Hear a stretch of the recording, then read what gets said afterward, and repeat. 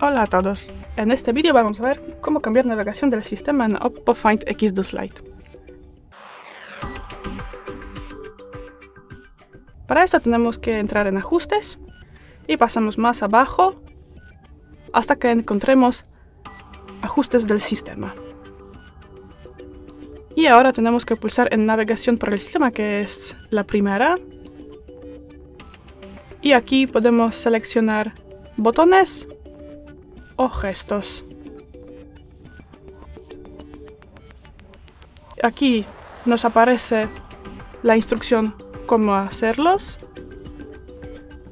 Y si volvemos a botones, también podemos seleccionar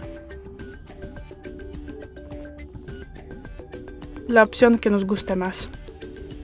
Y es todo, muchas gracias por ver el vídeo, déjanos un like y suscríbenos al canal. ¡Hasta luego!